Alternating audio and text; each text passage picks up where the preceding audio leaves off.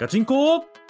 マイル塾。よー、始まりました。今日もよろしくお願いします。今日はですね、えー声が塾長ではないですね。あの、スペシャルゲストにお越しいただいております。今日ですね、リサさん、よろしくお願いいたしますよろ。しくお願いします。はい、ありがとうございます。えー、リサさんはですね、ちょっとご紹介するのが非常に楽しみなんですけれども、バリバリのキャリアウーマンということで、こう、長らくテレビ局の番組制作に携わられていてですね、えー今ではあの管理職でバリバリ活躍をされているという、そういうキャリアウーマンでいらっしゃいます。イギリスへの留学経験もおありになるということで、本当にあの多彩なあいろんなご経験をされている、そんなリサさんを今日お招きしてですね、えーお届けしていきたいと思います。えーリサさん、あの、ANA のステータスをお持ちだって聞いたんですけれども、ANA は何をお持ちなんでしょうか？なんとかダイヤモンドに到達しました。おー素晴らしいですね、ダイヤモンド。はそうですか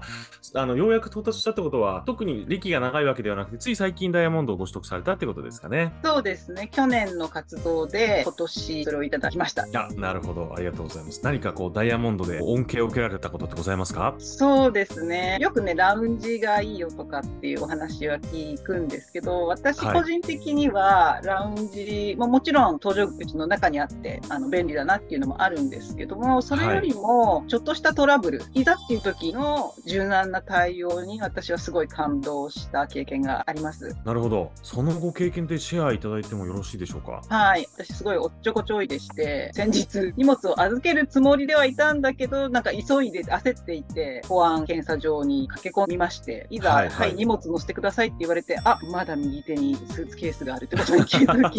これ預けたいんですって言ったら、まあ一旦、あの、じゃあ預けてくださいって出していただいたんですが、上の階に預けるところありますよってご案内いただいて、そこに行ったところ、まあまあ長蛇の列で、並ぶのっていう、ちょっと迷ったんですけど、もう一回もうこのまま乗っちゃおうかなっていう気はしたんですけど、でも傍らに全然人のいないカウンターがありまして、はいまあそれはいがプレミアムとかダイヤの方専用のカウンターでして、まあ、そこに行きましたら、あ、どうぞどうぞということで、すぐに対応いただいて、すぐに預かっていただいてあ、すぐに私の悩みは解決しました。なるほど。それはでも嬉しいですね。こういざという時ですね。今、はい、割と外国からの観光客の方も相当いらしていて、もうはい本当にこうごった返している空港の中で、そういう優先対応を受けたのは本当にありがたかったです。あなるほど。ありがとうございます。そうすると、じゃあ、実際、こう、飛行機を降りた時にも、こう、少し荷物が早めに出てきたとか、そういったご経験はありますか？そうですね、びっくりしました。一番最初に あ、素晴らしいですね。出てきましたね。あの、行きも帰りもはいそうだったので、それがダイヤかっていうことで、本当に降りてすぐピックアップしてすぐ帰れるっていうのが本当にありがたくて、いつもバタバタ忙しい生活をしてるので、なるほど本当に。ありがたかったです。あのお仕事でね、そういった時短になるこうビジネスマンにも非常にいいかなというふうに思うんですが、こうね、せっかくお休みが取れた時に、こうちょっとしたこうイライラがなくなったりとかですね、ちょっとしたこう優越感に浸れたりとか、なんかそういうメリットもあるかもしれませんね。そうですね、本当にそう思います。なるほど。ありがとうございます。そんなリサさんにですね、今日じゃあメインの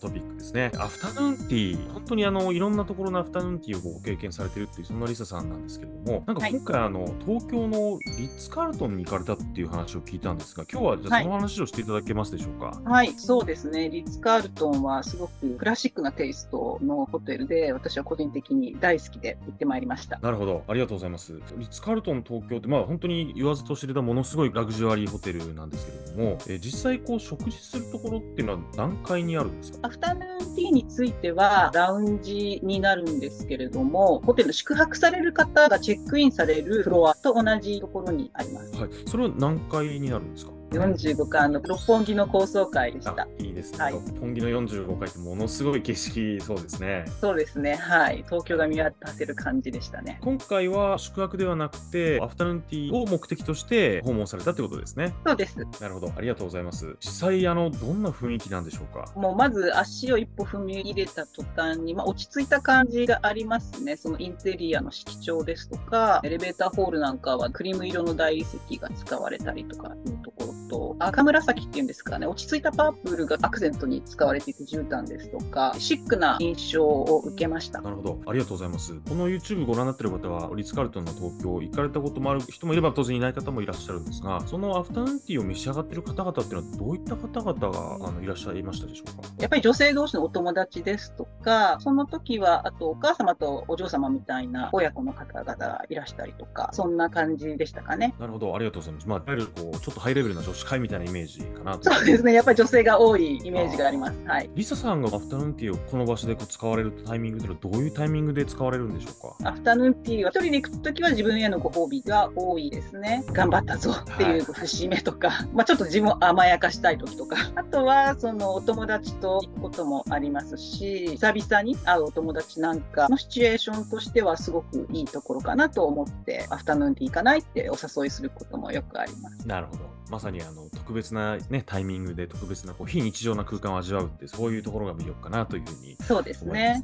はい。あの実際出てくるお料理っていうのはどういうものが出てくるんでしょうか？えっと大きく2つに分けて端的に言うとしょっぱいものと甘いものなんですけど。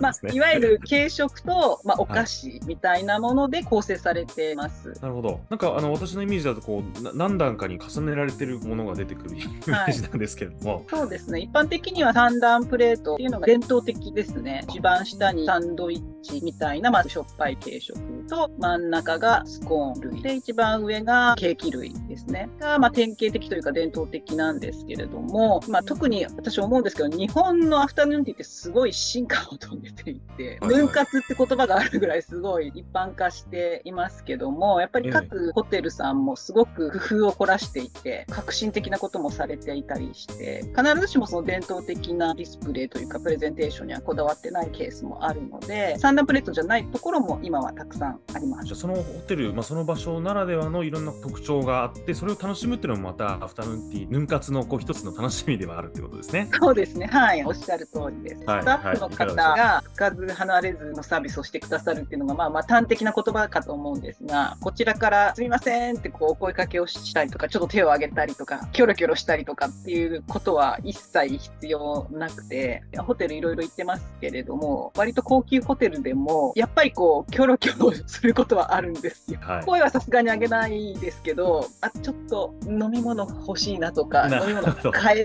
たいなとか、おかわりしたいなとかっていうタイミングがあるんですけど、そういったこちらが声を発しなくても、あちらから歩み寄ってくださって、お飲み物いかがですか？とか、まあ、言葉にしてしまったらもう別に大したことではないんですけど、そのタイミングがすごい絶妙で、あなるほど、はい、素晴らしいなと思いました。そういったまさに人の機微を読んだというか、本当に絶妙なタイミング、もしくはサービス、そういうことですね。そうですね。はいはい、そのように、はい、感じました。なるほど、ありがとうございます。まあ、リッツ・カルトン東京というのはマリオット系列、マリオットグループに入るかなというふうに思うんですが、はい、マリオット会員であると、何かこう特典が受けられたりするんでしょうか？そうですね。ダイニングの特典でまず確か割引になった記憶がありますし、あと、まあ、マリオットのカードを持っていると、ボーナスポイントっていうんですかね、がついたりとかっていうのがありまして、ダイニングクーポンっていうのをいただいてた経緯がありまして、はいはいはい。それも使えたものですから、実質半額みたいな感じで。それはいいですね。はい。なるほど、ありがとうございます。体験しました。ポイントボーナスでついたりですとか、料金の割引があったりとか、あの優待していただいてありがたかったです。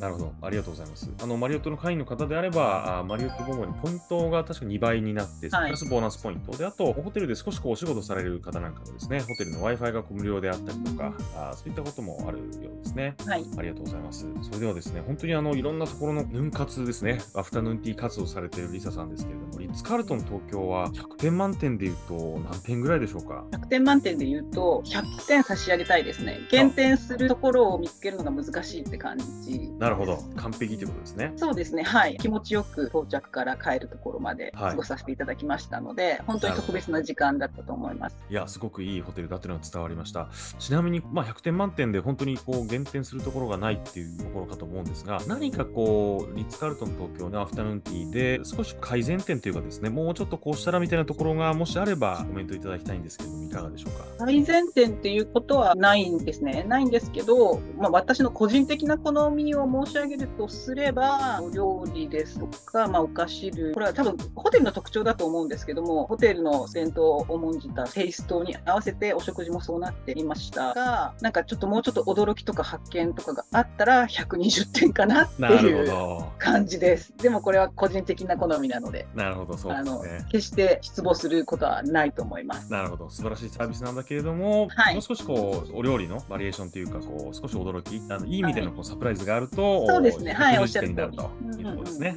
なるほど、はい、ではですね、今日は本当に貴重なね、リッツ・カールトン東京の話聞くことができました。えーガチンコマイル塾ではですね、プライムトラベルって新しいメディアサイトを立ち上げておりまして、実は今日のですね、リサさんの投稿もですね、詳しくリッツ・カールトン東京のアフタヌーンティーということで、写真付きでですね、解説、掲載をしておりますので、ぜひご興味がある方は概要欄からですね、えープライムトラベルアクセスをしていただければと思います。で、またですね、今回のリサさんのヌン活も含め、いろんな方がですね、現地でしか体験できないことをガチンコマイル塾の YouTube では今後引き続きですね、えー塾長の発信とともに、えーやっていきたいというふうに思いますので、ご興味がある方はチャンネル登録ですね、またメールマガジンの登録もお願いしたいと思います。あと、いいねマークもぜひポチッとお願いできればと思います。今日もリサさんありがとうございます。ありがとうございました。ガチンコマイル塾